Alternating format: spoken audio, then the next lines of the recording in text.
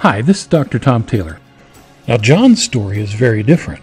He'd been diagnosed with bipolar disorder and was facing the prospect of taking medication for the rest of his life. Neither Jon nor his wife were excited about the potential side effects of medication, which could have made him emotionally flat. So instead of vacillating from the extremes of manic depression, he might show little emotion at all.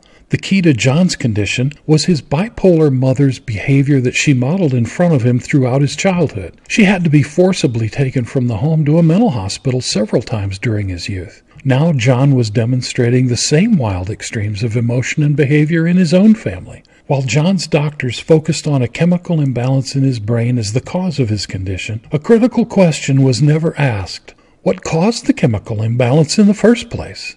Jon's family history or genetics became convenient excuses, but he was simply repeating what he had observed throughout his childhood. That was his normal, and it was all he knew how to do.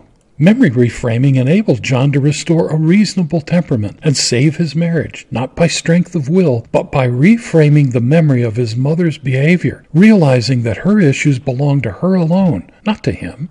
Jon couldn't have arrived at this profoundly freeing realization as a child, but Jon succeeded in reframing his memory and writing over the engrams of his childhood. Jon also came to the stunning realization that his upbringing had been entirely worth the anxiety he experienced as a child. In fact, Jon actually became thankful for the pain of his upbringing because it brought him ultimately to the relationships that he treasured the most daughters who worshiped him and a wife who loved him completely. Jon's gratitude for the precious jewels in his life literally overwhelmed his former anxiety. His first memory reframing process took less than 30 minutes. We worked together a few more times over the next month or so, and Jon continued reframing memories on his own that inevitably surfaced as he lived his life. Jon avoided taking medication and lives happily today with his wife and children. His experience contains a massive key to your own healing.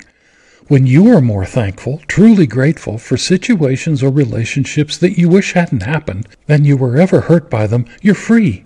Instead of sadness and regret, your memories will produce more gratitude because who you are and where you are today was only made possible by every step you took throughout your life, and every step was worth whatever it cost. Of course, you never have to repeat your past, but feeling more thankful for the steps that made your life today possible transforms pain into joy and regret into triumph. Here's what you need to do now. Click the link in the description of this video and sign up for this empowering experience. Click the link and sign up now.